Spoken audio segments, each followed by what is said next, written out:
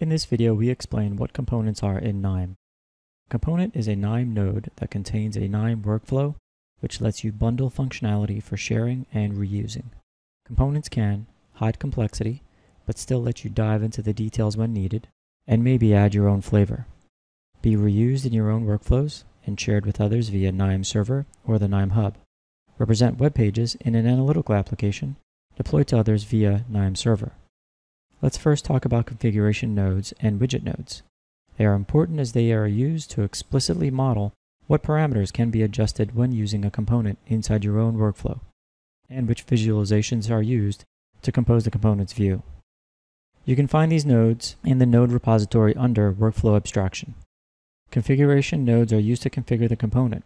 This could be, for example, entering a parameter or filtering rows. Configuring a component works the same way as configuring any other KNIME nodes. Double-click the component or right-click it and select Configure in the menu.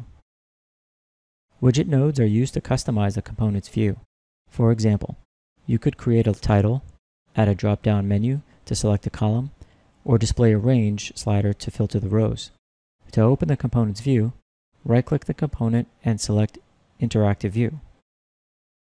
The components view also corresponds to a KNIME web portal page. Now let's go back to some of the things components are useful for.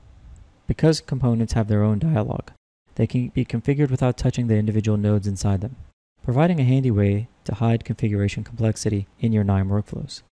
Of course, if needed, you can still dive into the details inside the component and make any adjustments relevant to your own use case. Different data science projects often tend to require repeated tasks, entering credentials for a database, optimizing the parameters of a machine learning model, or showing some KPIs in a customized dashboard, to name a few. These kinds of tasks can be bundled up into components and reused in any workflow. In order to reuse them, you can store them on the KNIME Hub or KNIME server or on your local machine. If there is a functionality you need, check out the KNIME Hub where you can find various components to use. For example, for automating the selection of the classification threshold, and for visualizing data in a world map. From here, you can drag and drop the component directly onto your KNIME workbench and start using it. Using different components, you can build an analytical application that can be deployed via the KNIME web portal, making it accessible on a web browser from any machine, independent of the local installation of KNIME Analytics platform. In this kind of analytical application, each component represents a web page. For example, here's a web page that compares the performance of different classification models. The view you see here is interactive. For example, a selection in one view is also published in the other views. The view you can see on this web page is provided by one component that contains JavaScript-based visualization nodes and widget nodes to customize the view.